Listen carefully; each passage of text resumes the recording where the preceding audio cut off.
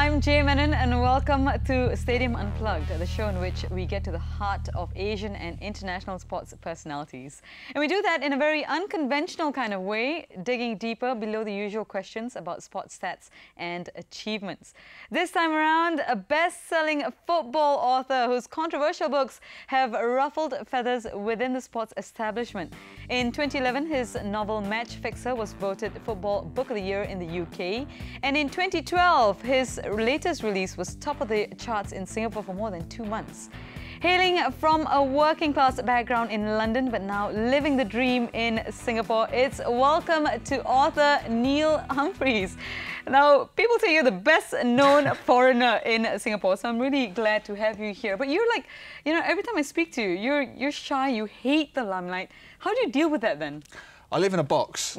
I just have this little box that my wife covers me over every night. No, I, am a hermit. I'm a writer. Writers are mm. hermits. We just mm-hmm. sit in a little cubicle all day and we mm. write and write. Everyone thinks it's sexy. It's the least sexy job on the planet, but it's one I love. So. Okay, now I want to talk about you know you growing up because mm. you know of course there's lots of stories about you know you grew up in a very rough neighbourhood, apparently. Dagenham. The poverty, rough, the poverty. How rough was it? This feels yes. like a therapist session already. I'm going to be crying. My mother never fed why, me. Why do you think we give you the comfortable chairs and all that? You know, just get you comfortable to open up, you it's know? It's great. Okay, so what was it like, your childhood? It was a funny childhood. There was always lots of laughter in the house. My mother constantly made fun of my gangly physical appearance. you know, she christened me olive oil from the earliest age. So she always said, where's Popeye? Where's Popeye olive oil? Go and get Popeye. So there was lots of self-deprecating humour mm -hmm. in my household, which I think came across comes across in all my books. Uh, my mum, my mother constantly made fun of me in a, in a light-hearted way. She always told jokes. There was always stories. I mean, I remember she, she, made a funny football story about me. We went to see a charity game once, a local charity game, and Martin Peters, the former West Ham and England, you know, World Cup winning footballer, a hero of mine. My mother said, go and get his autograph, go and get his autograph. So I dashed over, and then at the last minute, I got a fit of fear. I became really shy. And so I went to shake his hand, but as I panicked, I went for the hand that was holding his sports bag. So what turned out to what was supposed to be a handshake became a mugging because I grabbed the wrong hand and I ended up grabbing the hand that was holding the sports bag oh and started pulling it. And he's thinking, this Dagenham kid is trying to mug me. So this World Cup winning footballer, hero of mine, West Ham and England and Tottenham, starts pulling this bag away from me and my mum is crying with laughter. she doesn't try and apologise. She doesn't apologise to Mr Peters. She just stands there and watch me trying to mug a World Cup winning footballer. That's my mother. And that's the kind of mad, zany household that I grew up in. I don't even know where to start with that one. I mean, you know, you're full of stories. Okay, now I'm going to pick up on the fact that you're a big West Ham fan. Mm um, your area where you grew up uh, produced quite a lot of uh, mm. big names in football. Mm. So how come your name was not up there?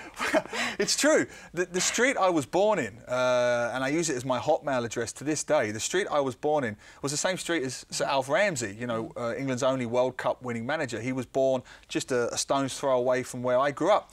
Uh, Bobby Moore, Trevor Brooking, Tony Adams, John Terry. I have quite a lot in common with John Terry, but not in a good way. No, I'm just kidding. So a lot of these players, Tony Adams, uh, Tony Cottee was just up the road. Everyone in Malaysia knows Tony Cottee.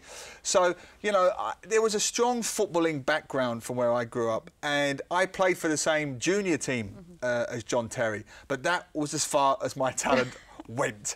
As I, it's true, as I got a bit older, I played for my father's uh, pub team, mm -hmm. right? And he put me on as right back, and I was up against a load of 50-year-old pot-bellied guys mm -hmm. who could barely run. I was so dreadful at right back that in the second half you heard the manager shout, "Target the left wing. He's the weak link. Oh my He's gosh. the weak link." So I actually became the weak link of my father's pub team. So I wasn't even good enough for my oh father's no. pub team. So if you can't play, right, that's the next best thing, you know. So I still get to go to all the games. I just write about them instead of playing in them. I see. So it was the next best thing for you then? Well, yeah. I mean, that was all I could really do. You know, I, I was. Mm -hmm. I mean, teachers and so on told me from a fairly early age I was pretty good at writing. Mm -hmm. I seemed to have a knack mm -hmm. for it, a talent, if you will. So, uh, you know, as I grew up, I won various prizes for poetry and mm-hmm. prose and, and all the rest of it. So, writing was a natural progression mm-hmm. for me uh, and then, you know, lo and behold, that poor idiot kid who was mugging Martin Peters two decades later was signing copies of his book for famous footballers. So, you know, so it's like I've come full circle. In fact, my book Uh, you mentioned Match Fixer earlier. One of my proudest things about Match Fixer, mm-hmm. it's a book that's, it's a global book. It's set in uh, London, Australia, mm-hmm. Malaysia and Singapore. Mm-hmm. But I launched the book in London, next door to Upton Park, West Ham. So, you know, there's this poor kid, and I don't want you getting the violins out, but there's this poor kid who didn't have enough money to go to watch West Ham when he was a kid. So I used to, I worked two jobs when I was 11 years old. I had two part-time jobs. I was like Oliver Twist of Essex, right? So this Oliver Twist is working two part-time jobs to watch the football, to save up to watch the football. And then you fast forward 20, 25 years, and I have my London book launch opposite the mecca Oh of, of the. English Premier League for me, you know, with Tony Cottee endorsing my book, you know, on the front cover. So it was wonderful to start with that poor kid and then become the best-selling football author. I was very proud of that. Okay, let's start. I mean, you know, you're so passionate about, you know, where you come from and just the history, the football, but you upped and left right after university for Hmm. what was supposed to be, I think, a trip to Asia, which ended up being a 10-year stay in Asia and even longer now that Yeah, you're back. yep. You know, how did that happen? Uh, I ran out of money.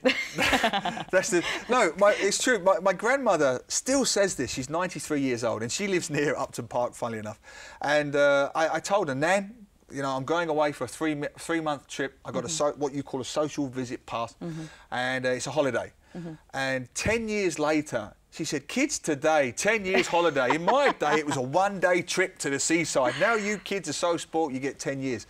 But I just fell in love with Southeast Asia and uh, it, it was a very hard country to leave. You know, it was a mm-hmm. very hard place to live. I mean, I grew up in Dagenham, right? Mm-hmm. Nothing ex- exciting or mm-hmm. sexy ever happens in Dagenham. You come to this part of the world, you've got wild boars and orangutans Oh and Malayan crocodiles and monkeys.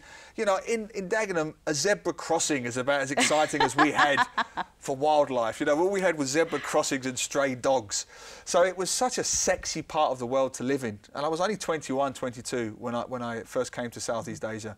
That I just stayed. I just stayed for 10 years. It was a very hard place to leave. And, and it just happened, you know. I started writing, columns turned into features, turned into books, turned into best selling books. And before I knew it, I was on this whirlwind international tour promoting these books. You started out as a drama teacher, though, and then Don't went to journalism. No, I have to tell everyone that because that was, you know, the, the one thing that stood out. Drama teacher. Yes. You know, I'm looking at you. You've got the flair for drama. Yes, I don't have the and look, though. comedy. Well, Yeah. you do. Come on. Thanks for radio. No.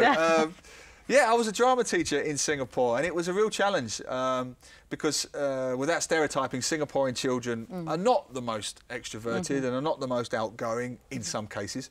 So it was a real challenge to, to get them. And we would often talk about football. You know, Mm-hmm. it's the cliched fallback, but it's true. We often talked about football because it was a great icebreaker. You know, if I want to get an instant laugh in any classroom in Southeast Asia, I, just say, who do you support? Man U. Who do you support? Liverpool. And then they'll say, sir, who do you support? West Ham. who is going to support West Ham? Like it's a punchline. So it was a great icebreaker. And uh, yeah, the drama thing. I, I was putting on productions. I was I was uh, directing productions. It was a very eclectic, unusual lifestyle, but loved every minute of it. Loved it. Okay. Well, ahead on Stadium Unplugged. Either way, they're making money from the game. See, I told you. I told you. Look, look, look, look how much money you could have won. I told you. I told you. Weren't you afraid at any one point because you know some parts were based on real life events that you would get into a lot of trouble with these people because